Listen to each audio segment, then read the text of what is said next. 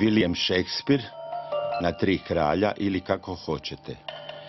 Hrvatsko narodno kazalište u Zagrebu.